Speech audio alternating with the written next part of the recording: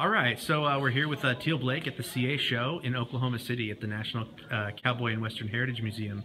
Uh, Teal, uh, tell me about the work that you brought here at the show. Um, I brought uh, three watercolors, three oils, and one bronze, and uh, just tried to bring a good mixture for this and uh, have some nice stuff. And what about this piece here with the cattle? Uh, this is a longhorn steer from one of the ranches I work on, and he was uh, kind of a lead steer they keep around, and uh, I just thought it was a neat, neat image, neat old, uh, old style Borini, and uh, I, I wanted to try to get it on paper. Of course, you brought watercolors, oils, bronzes. Uh, uh, is there no limit to your skill?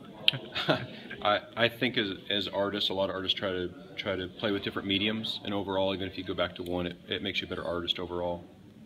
And what do you think of the show this year? Just the quality of the work all around.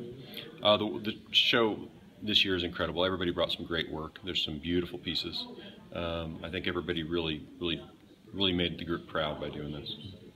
And I know you have some stuff planned for next year, particularly uh, before the trail ride. You're planning a workshop. Can you tell us about that? We are. We're doing a. Uh, we're going to do a five-day workshop in Fort Davis, Texas, out in Big Bend country. Uh, five or six of the artists are going to be the instructors. We're going to have uh, live traditional models and uh, combine the classes every other day, and uh, just try to have a fun time where the where the students can actually hang out with the artists a bit and, and learn.